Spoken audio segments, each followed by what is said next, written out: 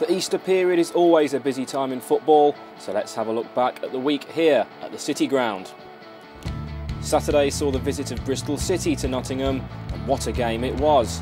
Dexter Blackstock scored his first goal for the Reds to earn a vital 3-2 win. You know, it's massive, massive for us to get three points today. Um, we managed to do that, and luckily enough for me, I grabbed, I grabbed the winner to, to set myself in with the, with the home fans. Caught it, caught it sweet, you know, I couldn't have asked for anything better. Um, you know, you can see how much it means to the fans with the celebration, and I'm just glad to be a part of, of hopefully survival. You know, great credit. Well done everybody at Forest. Well done the fans. Well done the players. Well done everyone, everybody here because they showed a tremendous attitude. Very difficult under the, the pressure that we face today. Very difficult for young players. But what a result and what a finish. Two days later, and Forest travel to Bramall Lane to face high-flying Sheffield United. Despite being down to 10 men for the majority of the game, the Reds earned another valuable point. Fantastic result. Proud of the boys. Their effort, their application at a difficult place to come to was first class and they, uh, they deserve a result. Yeah, it was. I think we uh, we came aiming to get three points today, but I think uh, under the circumstances, I think we're, we're happy to take a clean sheet and take a point away from here. You can't put your head there, can you? You know, that's it. From where from where we're standing, we think it's a red. So Kelvin will take his punishment, and that'll be it.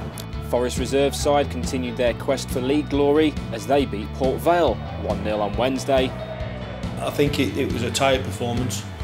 Um, and it was a performance where you know we had quite a few of the lads in who hadn't played football for a long time, and um, that certainly showed today um, with the, uh, the amount of effort in which they tried to put in, but it just wasn't there. James Perch gave special praise to the fans for their support on Saturday and Monday in a Forest World exclusive. On Saturday it was unbelievable at the end. A lot of people stayed to clap us off and, and, and all the way through the game was chanting and making a lot of noise. And Monday was brilliant. To walk out Sheffield United and, and just look behind the goal and it was full and everyone was going for it. It was really one of the best experiences. Coventry City visit the City Ground on Saturday as the Reds look to move away from the Championship relegation zone. Forest World has all the build-up. Yeah, let me just say to our fans this weekend that, that you know we don't expect easy games any weekend.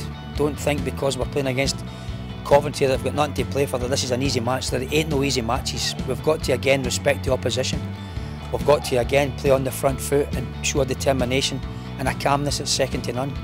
We've got to again make this city ground a real volatile place to play and get the fans right behind the players and get it loud and get it noisy. And we expect no favours from anyone and, and we've got to get into this match having to work very, very hard to pick up three points. And finally, it's time to vote for this year's Player of the Year. To cast your vote for your favourite player, visit the website www.nottinghamforest.co.uk.